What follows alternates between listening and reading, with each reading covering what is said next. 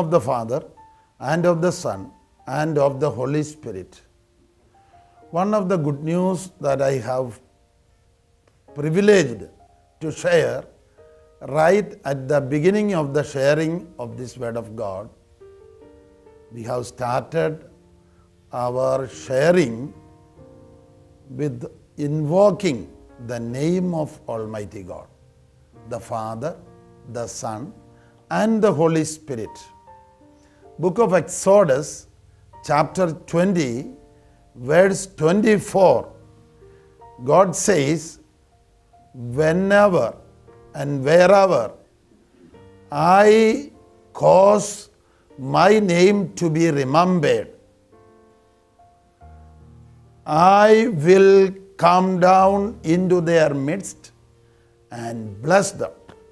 So it is a great privilege that all of us, right at the beginning of this sharing the word of God, we pray in the name of the Father and of the Son and of the Holy Spirit, believing in the Almighty promise that He is coming down into our midst and blessing us. What is God doing for us whenever He comes into our midst? Whenever God comes into our midst. As we read in St. John's Gospel, chapter 1, verse 29, we read John the Baptist, speaking about Jesus, said, Behold the Lamb of God who takes away the sins of the world. We are the world now being cleansed by the power of the Word of God. We, those who hear the Word of God, those who listen to the Word of God, we are being purified. We are being sanctified by the Word of God we are listening to. Hallelujah. Praise the Lord. Thank you, Jesus. Hallelujah. God is coming down into our midst for a very special purpose to bless us, to forgive our sins. Psalm 103, verse 3 and 4, we read the Word of God says, He forgives our sins and heals all our diseases. This is once again narrated in Isaiah chapter 35, verse 5 to 7. When Jesus comes, when the Messiah comes, the eyes of the blind are opened. The ears of the deaf starts hearing. The lame start leaping out of joy and after receiving healing. Hallelujah. Praise the Lord. Hallelujah. Hallelujah. And rivers of water is flowing through the dry land. Our own hearts are filled and overflowing with the waters of the, the living waters of the Holy Spirit. When the Messiah comes, there is transformation. There is the presence and power of God coming into our midst, into our life, changing our life, transforming our life. We are changed and transformed to become a new person in Christ Jesus. Hallelujah. Praise the Lord. Thank you, Father. Thank you, Jesus. Hallelujah. Hallelujah. We have such a loving God who created us, who provides everything for us, who forgives our sins, who heals our diseases, and He is leading us to eternal happiness, to eternal life. He is preparing everything in our life for giving us eternal reward. Hallelujah. Praise the Lord. Thank you, Jesus. Thank you, Father. Thank you, Holy Spirit. Hallelujah. Hallelujah. So, such a loving God, a God of infinite love, a God of infinite mercy, who waits to forgive the sins and the- to heal the diseases of the people. We have to praise such a God. We have to be giving thanks and praise to such a living, merciful, loving God Almighty. Hallelujah. Praise the Lord. Thank you, Jesus. Hallelujah. Hallelujah. What is the purpose of our creation? Why we are created? Colossians 1:16 Saint Paul writes, we are created by God and for God. We are created for the glory of God. How we are going to glorify the Lord? When people around us see our life, witness our life, experience love and mercy and compassion through us, they start thinking of the God whom we proclaim. They start thinking highly of the Lord for whom we are living, for whom we are speaking. Hallelujah. Praise the Lord. Thank you, Jesus. Hallelujah. Hallelujah. So, what is the purpose of human creation? Colossians 1:16 says, We are created by God and for God. Hallelujah. First Corinthians chapter 1, verse 31, the Holy Spirit says through Paul, Whatever you do, whatever you do, whether you eat or drink or whatever you do, do it for the glory of God.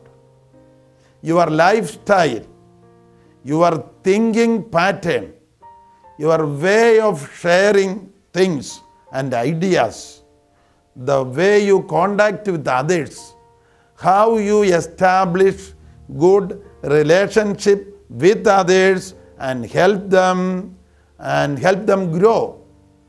All these things speak so highly about our loving God who has put His Spirit into our life. Hallelujah. Praise the Lord. Thank you, Jesus. Hallelujah. Hallelujah. So it is our privilege, it is our duty, it is our uh, the divine commandment that we have received that we have- we have to live for the glory of God. How to live for the glory of God? First of all, we have to be free from sin. We have to be free from selfishness, self centeredness, self seekingness. Maybe we were seeking our own glory. We have to live for the glory of God. Hallelujah. Praise the Lord. Hallelujah. Thank you, Father. So, thank you, Jesus. Hallelujah. We have to live for the glory of God by our lifestyle, by our thinking, patterns, patterns of living and dealing with others, we will speak of a living God, Jesus Christ, who is abiding in us. We will speak to the world of a Holy Spirit who is abiding in us and reaching out to others in love and compassion and mercy and reverence. Hallelujah. Praise the Lord. Thank you, Jesus. Hallelujah. Hallelujah. My dear brothers and sisters, whenever we are speaking and sharing of God, the living Lord Jesus, I have a repeated personal experience with me. I feel those who are hearing the word of God are receiving some special blessings like physical healing, emotional healing, and they are uh, healed of their emotional wounds, emotional hurts. They are filled with the love of God, and meanwhile, the unloved experiences in their life are getting healed. Praise the Lord. Hallelujah. When we are listening to the Word of God, we are filled with the Holy Spirit. Consequently, according to the promise in Romans 5 5, when we are filled with the Holy Spirit, we are filled with the love of God. Hallelujah. Praise the Lord. Hallelujah. We are filled with the love of God and we are enabled to love, to love others with a compassionate love,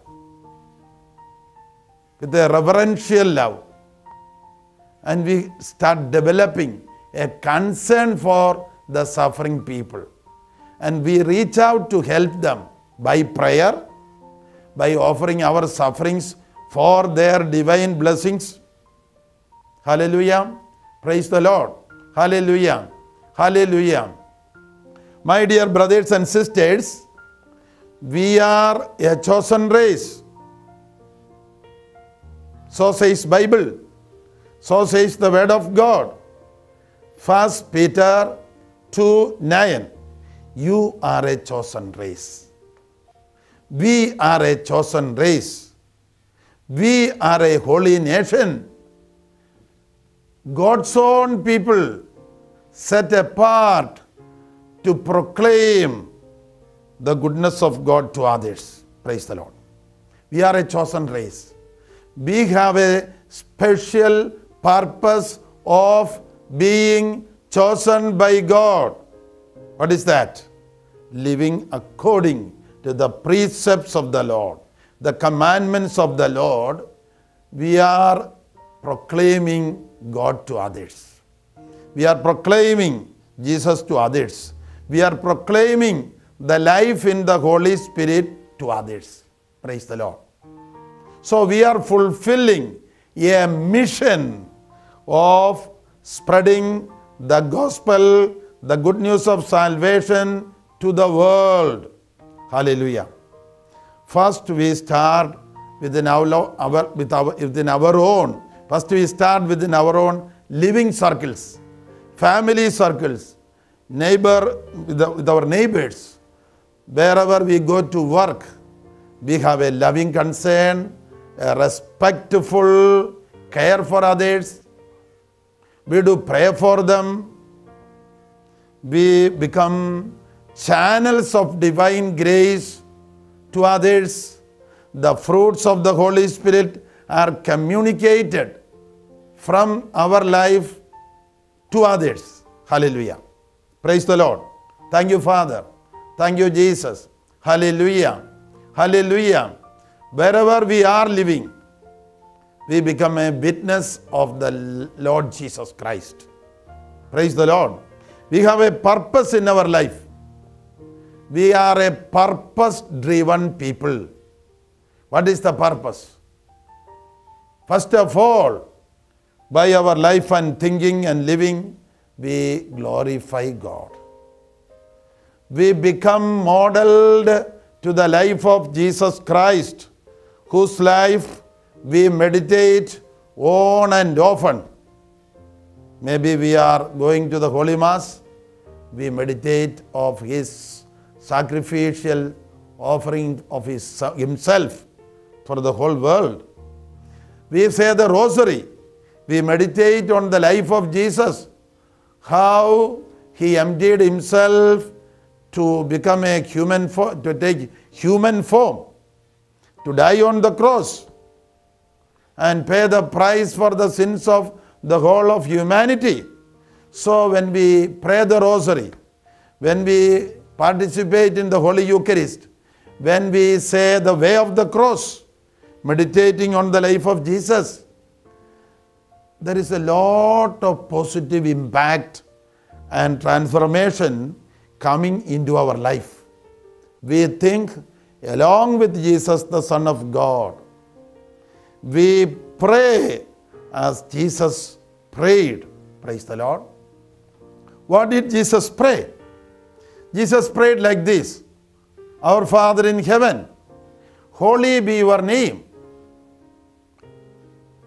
Your kingdom come. Your will be done on earth as it is in heaven. So Jesus was teaching us the very same prayer which he prayed. Holiness is of utmost importance. What is holiness? Faithfulness to follow the will of God. Faithfulness to follow the lifestyle of Jesus Christ. Faithfulness to follow the inspirations of the Holy Spirit. So, when we try to be faithful to follow the will of God, the plan of God, the lifestyle of Jesus Christ, to follow the inspirations of the Holy Spirit, we are being likened to the image of Jesus. We become transformed into the image and likeness of Jesus. Our prayer, our dealing with others, our social conduct, our prayer life, our family life, and the community life with, uh, with, with whom we are getting related. There is a continuous reflection of the glory of God coming upon us, coming upon us and emanating through us. My dear brothers and sisters, we are called to, to, be, to ascend. We are called to ascend to spiritual heights. Hallelujah. Jesus said, You are the light of the world. You are the salt of the earth. Through us, the life of God, the mercy of God is emanated, spread across, and we become channels of grace. We glorify the Lord. Hallelujah. Praise the Lord. Hallelujah. Hallelujah. We become Christophers, carrying Christ to others, and thereby we are glorifying God.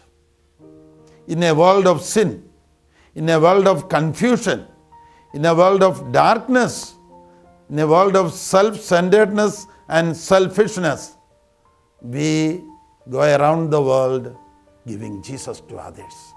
By our life of dying to self, by our life of self emptying and giving first place to God and giving first place to the glory of God, giving first place always to do the will of God, we are being transformed.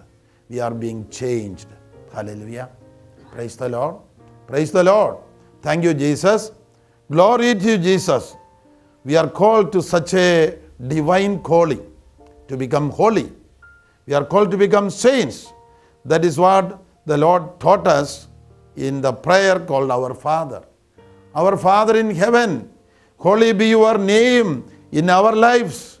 Let us become holy like you so that we can spread holiness to others. Praise the Lord. Hallelujah. Our Father who is in heaven, holy be your name. Your kingdom come. The rule of the Holy Spirit. The rule and power and authority of the Holy Spirit coming into our life. We get self control. We are not led astray by the passions of the body, the passions of the flesh, or the attractions of the world. The kingdom of God comes into our life. That is what Jesus wants us to aim at. Rule of the Holy Spirit. The power and authority of the Holy Spirit coming and being established in our life. No self seeking, no squandering our energy for this and that. We are a purpose driven people, living for the glory of God and witnessing the life of Jesus and ourselves aiming at heaven, eternal life, eternal happiness, and leading others to eternal happiness, to eternal life, to eternal joy, a purpose driven life. Hallelujah. Hallelujah. Hallelujah. Meanwhile, Jesus taught us to pray, give us this day our daily bread, the bread of the Word of God, the bread of the revelation of the Word of God. Lord, we know, we want to know more and more of the Word of God. Give us the understanding to understand the mysteries of faith, the mysteries of the Word of God, the infinite power and wisdom hidden in the Word of God.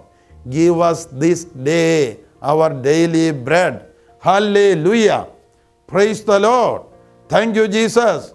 Hallelujah. Hallelujah. Give us this day our daily bread. Forgive us our sins as we forgive others their sins. As Jesus prayed on the cross, all of us just meditate for a minute how Jesus, dying on the cross, prayed for his enemies. Father, forgive them. They do not know what they are doing. Forgive them. Take away their punishment. I am taking up their punishment into my body, into my life. So free them from their punishments. Have mercy on them. They do not know what they are doing. Even so, every Christian believer is supposed to pray for the enemies every day as often as we pray. Hallelujah. Hallelujah. Forgive us our trespasses as we forgive those who trespass against us. When we have that attitude of forgiving, blessing the enemies, that is not in the world around. We are glorifying God by forgiving the enemies, loving the enemies, and we are placing love at the greatest importance, supreme importance for love. Hallelujah. Praise the Lord. Hallelujah. Hallelujah. Thank you, Father. Thank you, Jesus. Hallelujah. Forgive us our trespasses as we forgive those who trespass against us. Again, the Lord Jesus is teaching us to pray with earnestness, to be protected from temptation.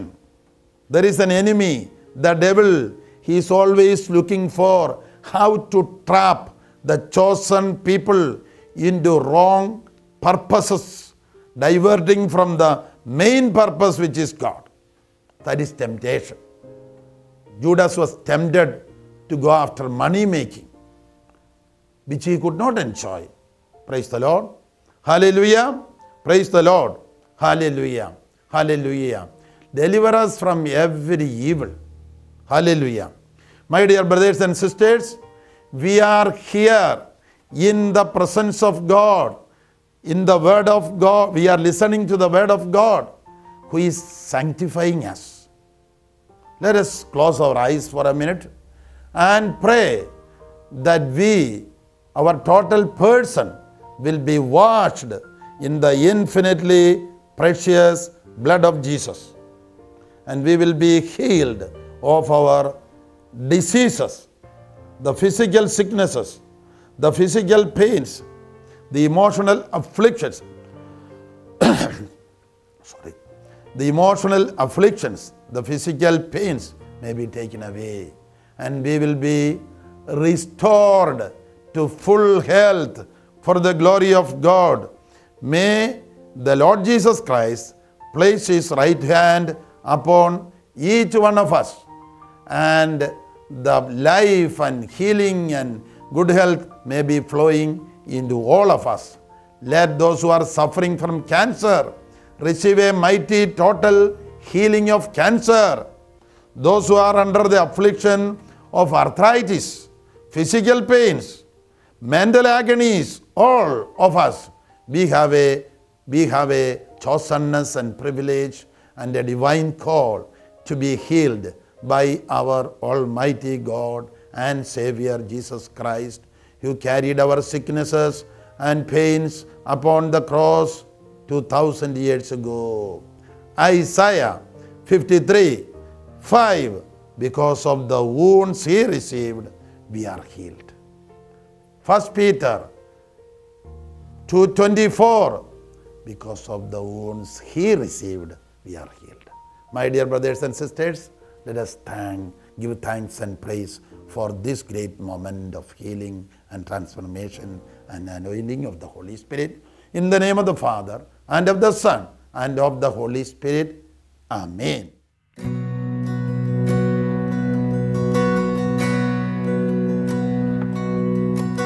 Divine TV is made possible through the prayers and financial support of people like you. This noble mission of spreading the gospel is touching thousands of lives all around the globe. We receive hundreds of emails and prayer requests confirming this. In order to continue, we need your prayers and financial support. God is a God of promise. He will reward you several times over for everything you do to help us. Our only goal is to reach more lives every day with the message of Jesus Christ. To those already helping us, may God bless every one of you and your loved ones immensely and fill you with joy and peace that surpasses all understanding. Please send in your prayer requests and donations through dvnonline.org or you may send in your checks to Divine Vision Network Inc. 1791 OG Skinner Drive, Suite D, West Point, Georgia 31833, USA. In Europe, please send your checks to Divine Television Foundation, 26 York Street, London, W1U 6PZ, United Kingdom.